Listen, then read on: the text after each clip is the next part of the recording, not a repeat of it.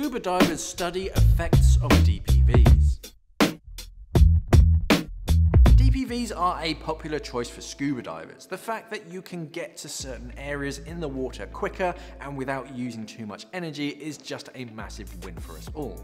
But DPVs are banned from marine protected areas or MPAs for obvious reasons. But DAN has been allowed to use DPVs in these protected waters.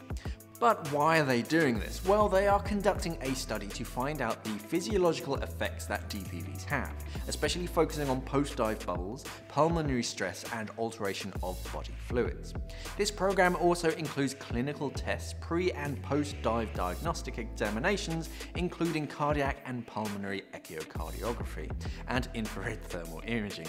But why use marine protected areas? Well, they can also track how DPVs affect the environment before and after a dive. So what better place to do it where no DPV has ever gone before?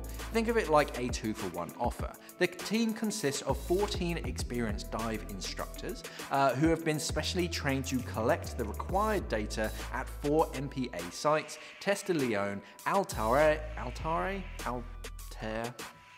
Secca, Gonzatti, uh, and Mohawk Deer. That's the best name ever.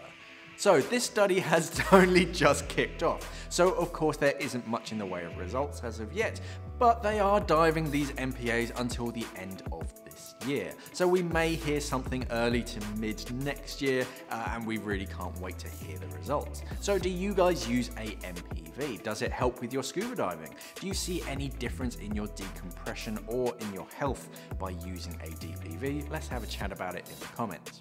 If you're watching this on Twitter, why not give us a like and a retweet? And to our awesome YouTube family, you guys know what to do. Thanks for watching. And safe diving. You tried to screw me over with that echocardiography. We are an online dive store serving the UK and the world for all your diving equipment needs. So why not visit us at simplyscuba.com or click the box on your screen.